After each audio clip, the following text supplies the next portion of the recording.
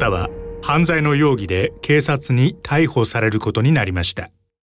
もし警察の逮捕が合法的でないと考えるのであれば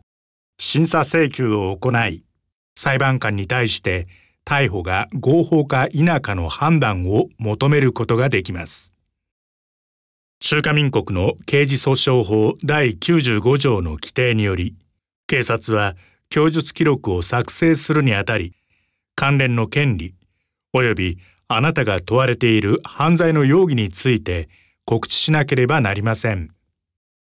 警察が供述記録を作成する際あなたは警察の質問事項に対し黙秘して回答を行わないことを選ぶことができます。また自分の意思に背いた回答を行う必要はありません。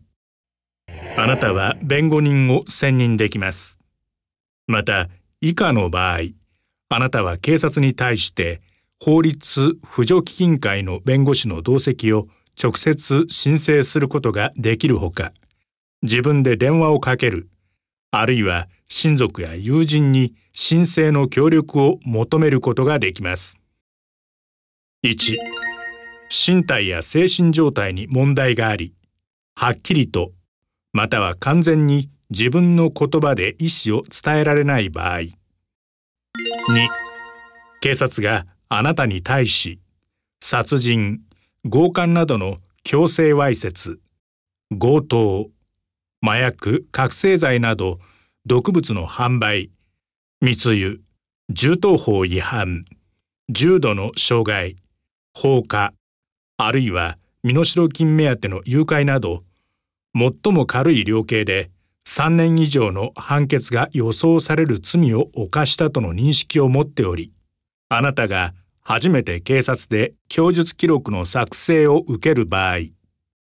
あなたは警察に対してあなたにとって有利なすべての証拠について調査を要求することができます。中華民国の法律の規定に従いあなたの明確な同意を得た場合を除きあなたは夜間の取り調べを拒否することができます。ただし逮捕後もしくは拘束後にあなたの身分を確認しなければならない場合検察官もしくは裁判官の許可を得た場合あるいは特に緊急の理由がある場合あなたは夜間の取り調べを拒絶することができませんあなたの各項目の権利については以上の通りですもしわからない箇所があれば